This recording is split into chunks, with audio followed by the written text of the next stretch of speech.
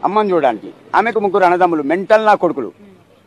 ఏ, నేను ఇంటి వరకు మా అమ్మ ఏడుస్తుంది. ఏమైందమ్మా అంటే చెప్పకుండా పోయిందిరా అన్నది. సరే ఓకే. Don't worry. ఏమైనా డబ్బులు ఉన్నాయా లేవు అన్నది. బయటికి పోయినా ఒక ఐదు వందలు జేబులో పెట్టుకున్నా. పావు కిలో కారపొడి తీసుకున్నా మేడం. రెండు జేబులలో పోసిన. ఒక బ్లేడ్ కొన్నా. రెండు ముక్కలు చేసిన. రెండు దవడలలో నూకినా. అప్పుడు నేను బీర్లు తాగేది. రెండు బీర్లలో ఒకటి తాగినా ఒకటి బొడ్లో పెట్టుకున్నా. అప్పుడు రిక్షాలు. రిక్షాని పిలిచిన. ఇంటి ముంగటి పోయినా వాళ్ళ ఇంటి ముంగటికి. గేటు బటన్ వచ్చిన బాబాయ్.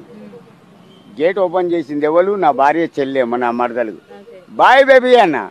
దడుచుకొని కింద దడిచిపోయింది. నా భార్య బయటికి వచ్చింది. మంచిగిన్ బాబాయ్.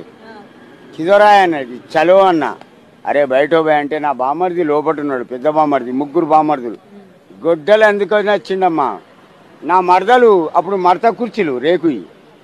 నా మరదలు తీసుకొచ్చి కుర్చేసింది వాడు గొడ్డ గడ్డపర తెస్తే ఆ కుర్చీని మడత దెంగుతే మెడలు ఇరిగిపోయినాయి.